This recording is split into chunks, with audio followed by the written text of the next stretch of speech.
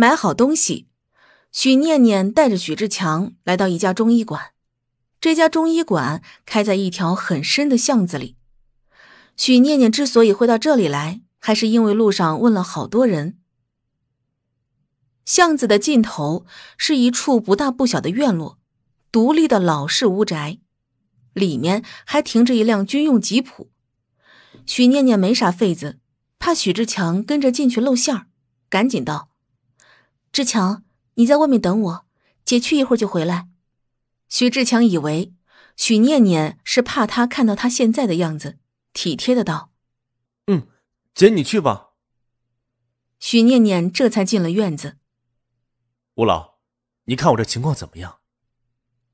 禁欲面色平静的望着对面的老人，英俊的脸透着严肃。吴老收回了手。我知道让你离开部队不太可能，不过。至少得休养一两个月，让我给你好好调理。要那么久？禁欲皱眉，他哪里闲得住啊？吴老正要说话，这时候外面传来一道轻快的脚步声。禁欲赶紧抬手止住吴老接下来的话。没多久，外面就传来一道软绵绵的声音：“请问有人吗？”那声音软软绵绵，低迷撩人。金玉只听了一句，眉头立刻深深的皱起来。哪里来的不正经的女人呢？说话这么软媚，是为了勾引人吗？因为是不认识的人，所以许念念到这里来说话也没有刻意的压着声音，只是话一出口，她就被惊讶到了，下意识捂住了嘴巴。这声音怎么比之前更撩人了？酥软的声音带着一股软浓的腔调，能听得人浑身酥麻。许念念自己就酥麻了。乖乖啊，这声音是要撩死人的节奏啊！半天没有听到有人回答，许念念试着往里屋走。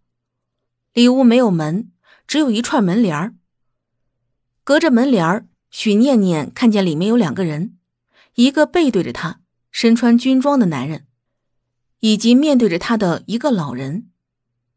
老人看见他过来，笑容和蔼：“小姑娘，你是来看病的吧？先进来。”许念念看见那个背对着他的军人正在扣纽扣，犹豫的问了一句：“我方便进来吗？”吴老看了一眼已经把扣子扣好的禁欲，知道许念念是避嫌，笑着道：“哈哈，没事儿，他已经好了。”禁欲扣好扣子，既然吴老这里还有病人，他就不打扰了。吴老告辞。说完，禁欲起身就要离开，许念念正好从外面进来，两人面对面朝对方走过来。许念念一看到这张脸，瞬间就震惊了，瞪大眼睛，不可置信的看着他。禁欲明显感受到他的眼神变化，脚步停顿，多看了女人一眼。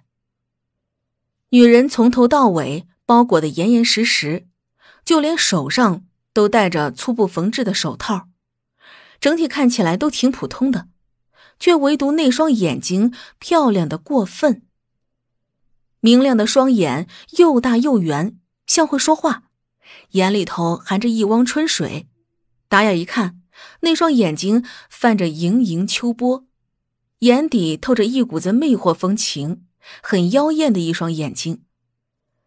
但与那妖艳的双眼不一样，他黑白分明的眼珠里头透露着无辜与干净。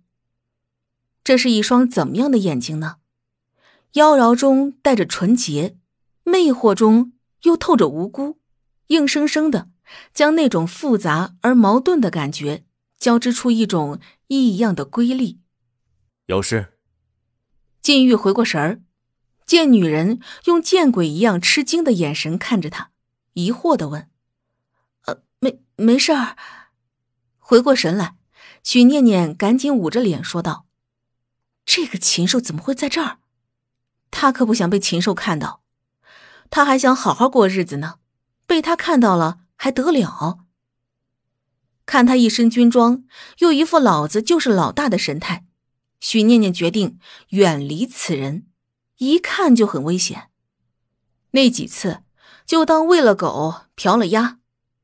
可禁欲是什么人呢？侦察兵出身呢，岂会听不出来许念念言语间的遮掩？就在许念念要往前走的时候，禁欲突然伸出手拉住他，厉声质问：“你到底是谁？”想要打探禁欲消息的人实在是太多了，他自然不会放过任何一个可疑人物。许念念为了赶紧避开他，走得比较快，于是禁欲这一拉。非但没拉住许念念的手，反而扯到了许念念裹着脑袋的粗布。